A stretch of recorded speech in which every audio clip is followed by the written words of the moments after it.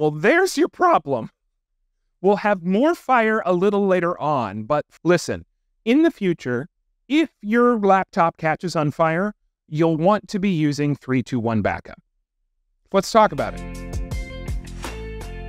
The 321 backup rule is a helpful mnemonic for protecting your important data.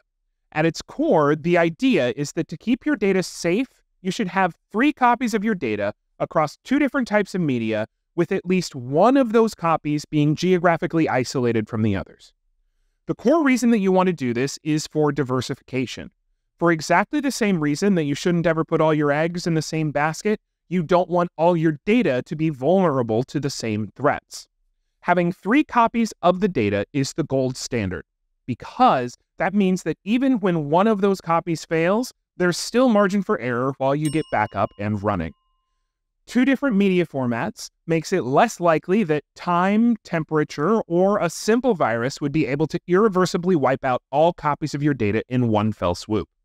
A good example of multiple formats would be using hard drives and then either optical, tape, or cloud media. Lastly, having one copy offsite. This one is your silver bullet following a site disaster such as flood, fire, or anything else that would impact the entire facility where your primary and secondary data are stored. Most often at this point in time, it's going to be the cloud. However, some folks go through the trouble of physically moving drives on a regular basis, so it's really up to you. A strong backup software solution will make it easy for you to leverage the 321 rule.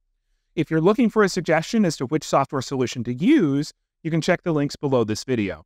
But for now, since we've eaten our veggies, let's have some dessert. Ignition sequence start. Three, two, one. Liftoff. We have a liftoff. 32 minutes past the hour.